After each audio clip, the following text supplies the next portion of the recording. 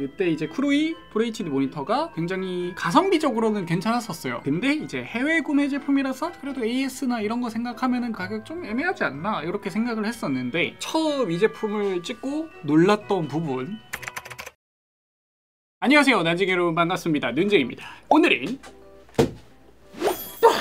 모니터를 한 대 가지고 왔습니다. 어떤 모니터냐면 저번에 또 갖고 왔었죠. 쿠로이 2723Q라는 제품입니다. 이 제품을 가지고 나온 이유가 뭐냐? 그때 이제 쿠로이 FHD 모니터가 굉장히 가성비적으로는 괜찮았었어요. 근데 이제 해외 구매 제품이라서 그래도 AS나 이런 거 생각하면은 가격 좀 애매하지 않나 이렇게 생각을 했었는데 이 제품이 그때 그 FHD 모니터에 비해서 국내 기준 제품들이랑 비교해도 가성비가 훨씬 좋 다고 생각해서 가져 나오게 됐습니다. 이 제품 제가 구매한 가격은 19만 3천 원인가 어, 제가 구매를 했고요. 할인했을 때 19만 원대 그쯤에 다들 구매가 가능했어가지고 그 정도 가격대라고 보면 되긴 합니다. 물론 이제 지금은 재고가 없는 상태예요. 근데 제가 샀을 때만 19만 원 그때 살 수 있었던 게 아니고 그 정도 가격에 꽤나 자주 풀렸었거든요. 그래서 물량이 들어오면은 또 그 정도 가격에 구매할 수 있지 않을까 해서 가지고 왔습니다. 그래서 이 제품하고 경쟁을 할 만한 국내 구매 제품 들 중에 괜찮은 제품들 스펙을 쫙 뽑아봤는데 중소기업 제품들 중에서는 IPS QHD 165 거기다 300 칸델라 매제곱미터 밝기를 가진 제품들에 비해서도 가격이 더 저렴한 걸 보실 수가 있고요. 나노 IPS가 들어간 제품 요건 한 350 칸델라 정도 밝기 나오고 나머지는 스펙이 동일한데 요거는 그래도 패널 품질이 조금 더 좋을 텐데 요 제품하고 비교해서도 가격대가 더 저렴합니다. 근데 이 제품 같은 경우는 밝기가 400 칸델라 매제곱미터입니다. 물론 스펙 표기상이기 때문에 오늘 테스트를 찍어 볼 거고요. 그 표기 스펙상 기준으로 봤을 때는 가장 가격대가 근접한 제품이라면 HP에서 나온 오멘 27Q라는 모델이랑 스펙이 가장 유사합니다. 근데 이 제품 가격은 35만 9천 원입니다. 오멘 제품 같은 경우는 제가 실제로 방문 세팅을 해서 제품들도 여러 번 봤고 한두 번 본 게 아니기 때문에 패널 품질 자체는 그 제품하고 비빌 거라고 생각은 하지 않아요. 그래도 스펙상으로 봤을 때는 그 제품이랑 상당히 유사한 근데 가격은 거의 반값 정도에 구매를 할 수 있는 그런 제품입니다. 그래서 오늘 이 제품 성능이 어느 정도 되는지 한번 알아보도록 하겠습니다.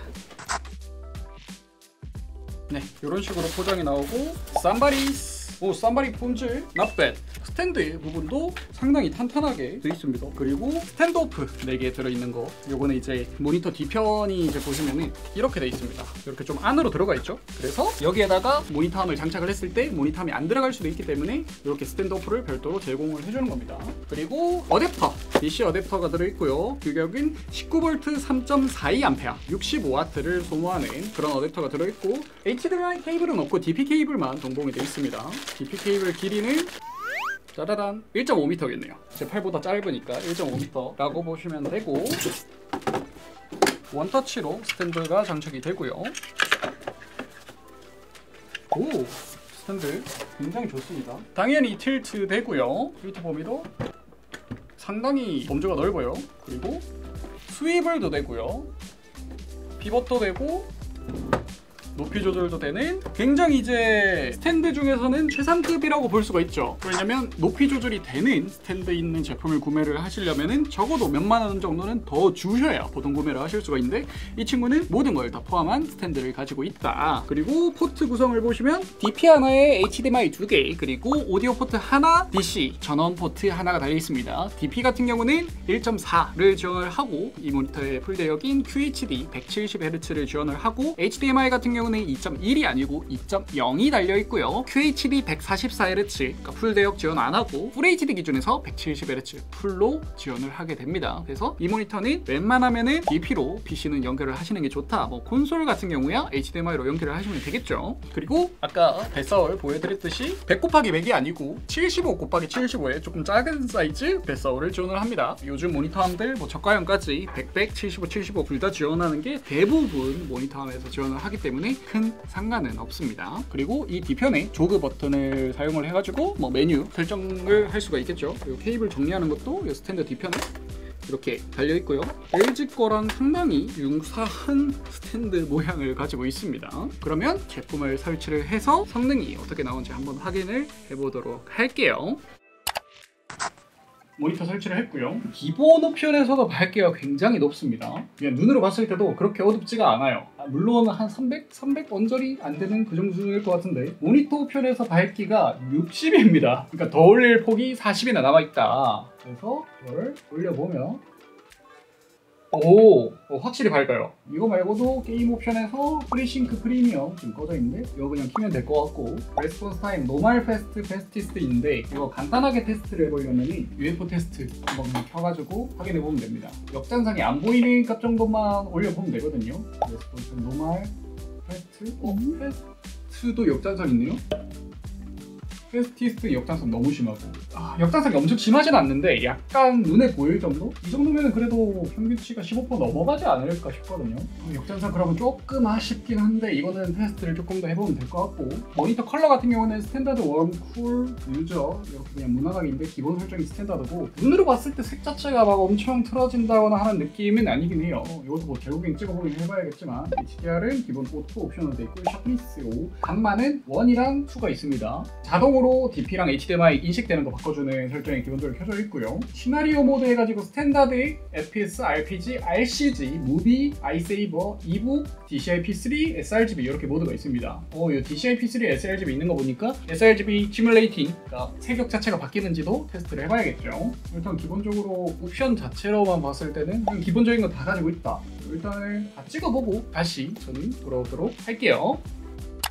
네, 여러분 벤치마크 전부 다 끝내고 왔습니다. 색 부분부터 결과를 알려드리도록 하겠습니다. 일단 색역 자체는 DCI P3 기준 90%를 만족한다고 스펙상 적혀 있는데 실제 계측을 했을 때는 색역이 DCI P3 기준 95.8%를 만족을 했습니다. 그래서 사실상 95% 이상으로 홍보하는 제품들과 동일한 수준의 색역을 가지고 있다고 보면 되고요. 처음 이 제품을 찍고 놀랐던 부분 이 grayscale 결과치입니다. 설정 자체를 기본값 값에 밝기만 100으로 둔 상태로 계측을 해보면 색온도, 감마, 밝기, 명암비 뭐 하나 크게 빠지는 부분이 없이 굉장히 고루 잘 측정이 됐습니다. 뭐 색온도 같은 경우는 6500켈빈 거의 근처로 진짜 잘 나왔죠. 그리고 감마 같은 경우도 이제 밝은 부분이 조금 더 밝게 표현되는 부분이 있긴 한데 평균은 2.1 수준으로 뭐 이 정도면 괜찮은 수준이라고 생각하고 명암비도 거의 1000대 1에 가깝게 그냥 딱 표준 수준으로 계측이 됐고 밝기도 386 칸델라 매 제곱미터 제곱미터로 스펙상 400칸델라 매제곱미터에 거의 근사하게 계측이 됐습니다. 그리고 saturation도 계측을 해봤을 때 평균 2.2 수준으로 채도가 너무 튀게 나온다거나 그런 부분 없이 전체적으로 무난하게 계측이 됐고 색 정확도 부분도 찍어봤을 때 델타 E 평균 1.8 최대치가 4.69인데 blue랑 red 계열 두 개가 소폭 튀는 걸 제외하고는 전체적으로 색 정확도가 높게 계측이 됐습니다. 거의 이 정도면 뭐 웬만한 작업을 하는 하는데 색이 부정확해서 작업을 못하겠다 싶은 부분은 없을 거라고 생각을 합니다. 그리고 이 친구가 sRGB 관련한 모드가 있었었죠. 그 sRGB 모드로 변경을 했을 때 색역이 sRGB 기준 93.3%로 소폭 좁게 나오긴 하는데 emulation 자체는 정상적으로 작동을 한다. 그래서 sRGB 모드를 사용하실 분들은 이 모드로 바꿔서 사용하실 수 있을 거라고 생각을 하고요. sRGB 모드로 변경을 했을 때도 grayscale 부분이 꽤나 괜찮게 찍혔습니다. 색온도 감마, 명암비, 밝기 모두 다. 이거 밝기가 250 칸델라 정도로 나오는데 요거는 sRGB 모드로 변경을 했을 때 밝기가 60으로 바뀌거든요. 그래서 그런 거고 밝기를 실제로 사용하실 땐 더 올려서 쓰셔도 되지만 sRGB 모드로 사용을 하실 거라면 보통은 sRGB가 필요한 컨텐츠를 즐기거나 뭐 그런 작업하시는 데 사용을 하실 거기 때문에 밝기 250 정도면은 괜찮지 않을까 생각을 합니다. 그리고 이 친구가 감마 옵션을 조절을 가능했잖아요. 그래서 sRGB 기준에서도 감마가 조금 더 소폭 내려오긴 했지만 여전히 2.1 수준으로 계측이 되길래 감마를 그래도 조절을 하면 괜찮지 않을까 해서 감마 2로 옵션을 변경을 했을 때 감마가 더 부정확하게 나옵니다. 이제 어두운 부분 계열이 훨씬 더 어둡게 표현이 되는 그러니까 감마 커브 자체가 바뀌는 게 아니고 어두운 부분이 이렇게 올라오는 형태로 측정이 바뀐다고 보시면 될 것 같습니다. 감마 2.4 기준으로 제작이 된 게 아닐까라고 생각을 하고요. 그리고 sRGB 모드에서도 color checker가 그럭저럭 괜찮게 나왔습니다. 평균 2.1, 최대 4.5 수준으로 무난 완벽하게 계측이 됐습니다. 애초에 컬러 자체가 emulation 된 게 잘 맞게 된 게 아니고 전체적으로 안으로 들어와 있기 때문에 정확도 자체가 조금 더 떨어질 수는 있다고 생각하지만 뭐 이 정도면은 그냥 무난하게 sRGB 컨텐츠들 관련한 걸 사용하는 데는 문제가 없으실 것 같아요. 하나 색 부분에서 아쉬운 부분은 이제 화면 균일도 부분입니다. white 30%에서는 그래도 크게 눈에 띄는 수준은 아닌데 white 100%로 계측을 했을 때 하단과 우측 이렇게 테두리 부분을 보시면 전체적으로 굉장히 어둡고 푸르게 계측이 되는 걸 보실 수가 있습니다. 그 최대치 자체도 거의 6에 가까울 정도로 센터 기준에서는 색이 굉장히 틀어진 결과를 보여주고 있고 뭐 중간 근처에 상단부 쪽도 약간 색이 붉고 노란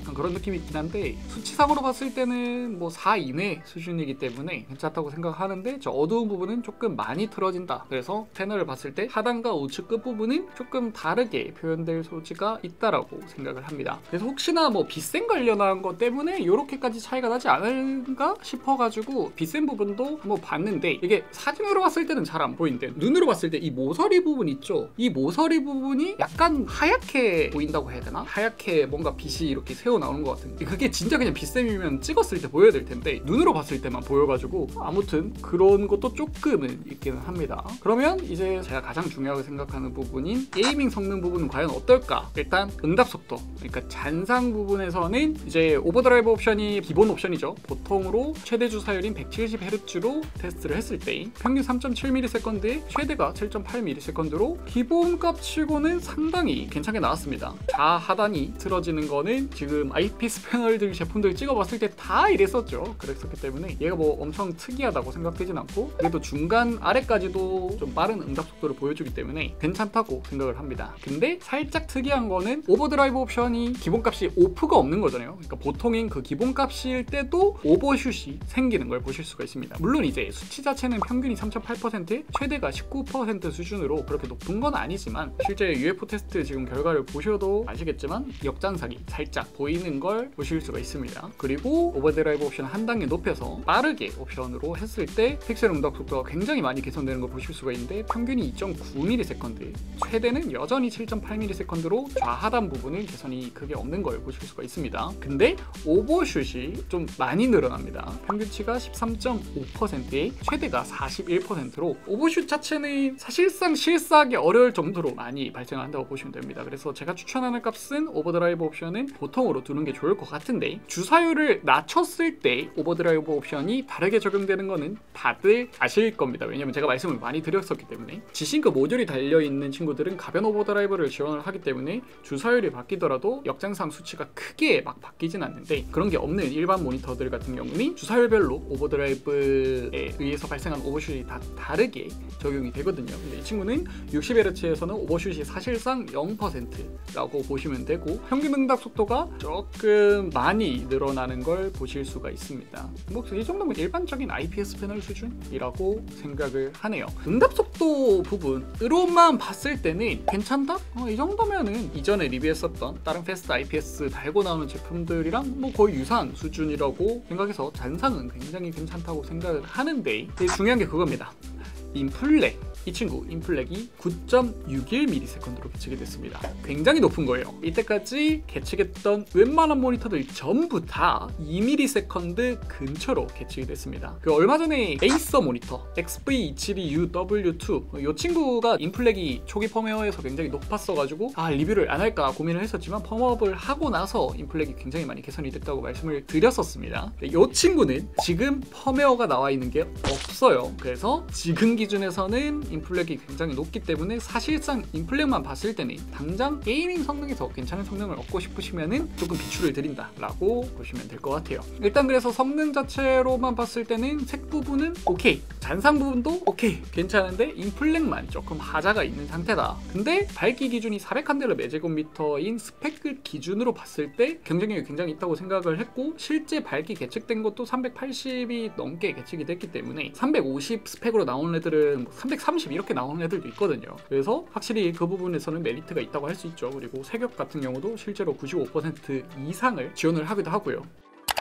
요 쿠루이에서 이제 국내 AS 센터가 설립이 된다고 하더라고요. 근데 오피셜인지는 모르겠어요. 뭐 쿠팡에 판매자가 막 답변을 남긴 거던데 오프라인 AS 서비스 센터가 이미 설립이 된 상태가 3월 1일에 올라왔던 댓글이고 공식적으로 2분기부터 가동이 된다고 합니다. 그러니까 4에서 6월 사이쯤에 가동이 된다는 소리겠죠. 그리고 쿠팡에서 직구 대행으로 보면 요것도 국내 서비스랑 동일하게 뭐 3년 AS를 제공을 해준다고 답변이 돼 있긴 합니다. 이게 진짜 될지는 모르겠지만 진짜 된다고 가정을 했을 때는 상당히 메리트가 넘치는 제품이라고 할 수 있습니다. 왜냐면 모니터 AS가 모든 부분에서 3년이 될지는 모르겠는데 만일에 패널 포함해서 3년까지 된다고 하면은 AS 기간 자체도 상당히 길죠. 아무튼 판매 페이지에 답변이 남아 있다. 오늘은 이렇게 쿠루이에서 나온 이 치 E3Q라는 모델 리뷰를 해봤고 초가성비라고 제품이 많이 알려져 있는데 가격까지 고려를 하면 진짜 초가성비 맞다고 생각을 하고 가격까지 싸면서 조금 더 완벽한 모니터를 원했긴 했지만 아직까지는 그거는 아니었다. 하지만 펌업 해주지 않을까요?